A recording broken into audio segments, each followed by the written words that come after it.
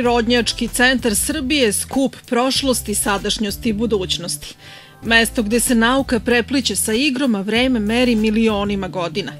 Sledeći putokaz i plavu strelicu dolazimo na početak svih početaka, u geološki vremeplov. To je izložba koja predstavlja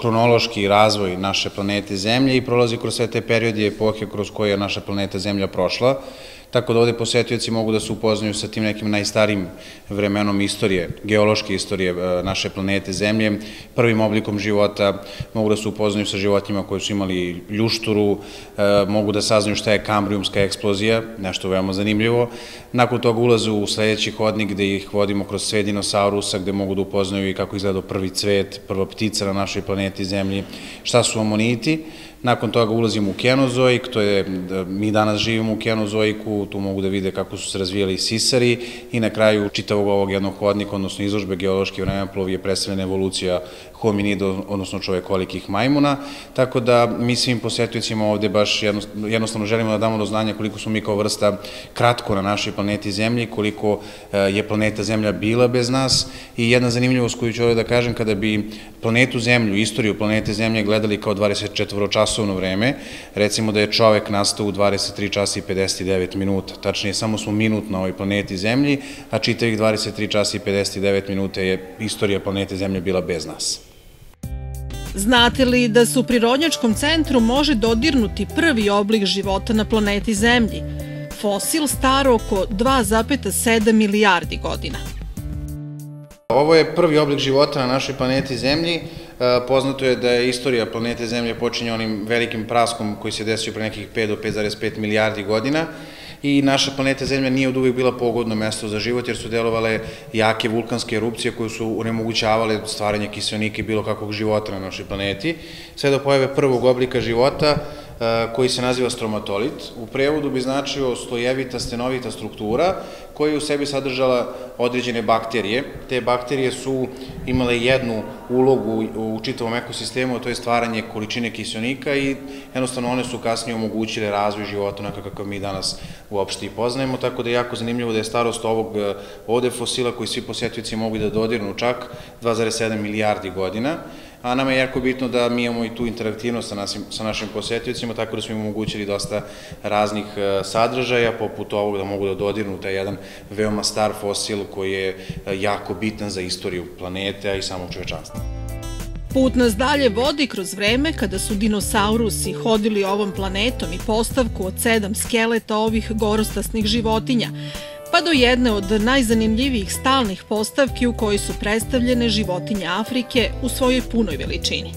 Za svaku od njih vezane su zanimljive priče, pa neke od njih prenosimo i vama. Predstavljene su životinje megafauna sisara afričkog kontinenta i to je čitava ona egzotičnost o kojoj mi govorimo i koju imamo priliku da vidimo kada govorimo o Africi i afričkom kontinentu. Predstavljaju su antilope, replika slona je tu, tu su zebre, tu su krokodil, ali i ovaj iza nas beli nosorog koji je životinja za moderno shvatanje zaštite životne sredine i koliko je ona bitna zapravo. E, beli nosorog je sve do pre 3-4 meseca živela je samo jedna jedinka na afričkom kontinentu, ali i ona nažalost nestala, tako da je sada e, vrsta belog nosoroga iščezla, odnosno izumrla na, na, na planeti Zemlji, a mi e, baš zbog toga svim posetiocima, pogotovo onim najmlađima koji možda i trebaju da menjuju i svest među, među ljudima i da menjuju ovaj svet i planetu Zemlju, pričamo koliko je važno da, da, da čuvaju životnu sredinu, da jednostavno imaju te pravilne životne navike. E, pored toga moram da naglasim da pomoću novih tehnologija kao što su digitalizacija i proširena realnost i stvarnost, mi smo omogućili posetiocima da oni mogu da ožive e, ovog nosoroga putem holograma, tako da svi mogu da skinu aplikaciju sa Google Play-a i pomoću nje da ožive belog nosoroga i makar da vide kako je nekada, nekada izgledao u prirodi, kako je živo u kom staništu. Oryx antilopa pre svega je životinja koja živi u Africi i jako je zanimljivo da je sveta životinja u mnogim državama Afrike. Pored toga, zanimljivo je da su drevni narodi mestima na kojima ona živi vezivali rogove tako da se genetski rodila jedna jedinka koja imala samo jedan rog i time je ona legenda o jednorogu u stvari potvrđen, više nije mit nego istina. Naravno, ta jedinka je vrlo brzo uginula zbog promene u genotipu, ali ipak smo dobili samo jednu, jednu jedinku koja imala samo jedan rog, što ukazuje da, da priroda, čak i životinje koje žive u nekom ekosistemu mogu da promene čita svoj način života i morfologiju zarad očuvanja svoje vrste, a da smo mi ljudi tu ili da im pomognemo ili da im odmognemo u tome, sad sve zavisi kako i na koji način razmišljamo. Što se tiče nilskog krokodila, to je drugi po, po veličini posle estuarskog u Africi. I zanimljivo je da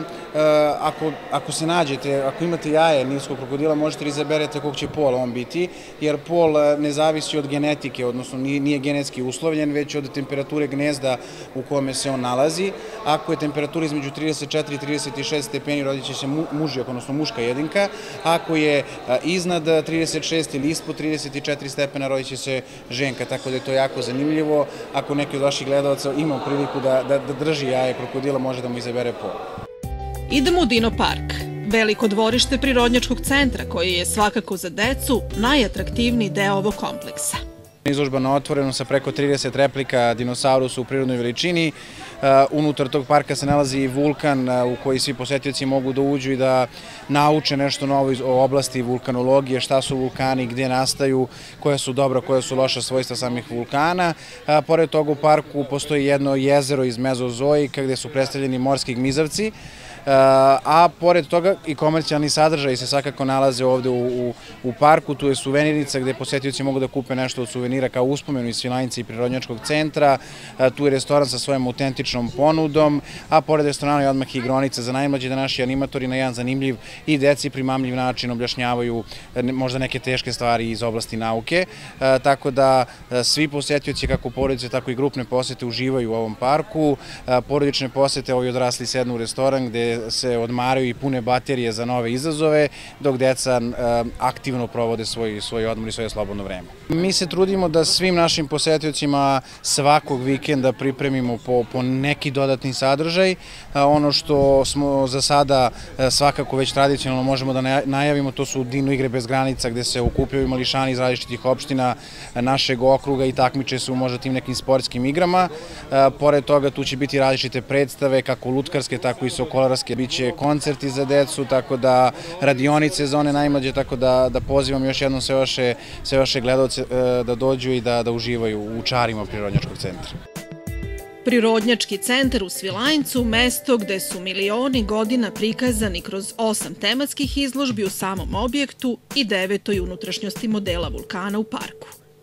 Dobrodošli, sledite plavu strelicu.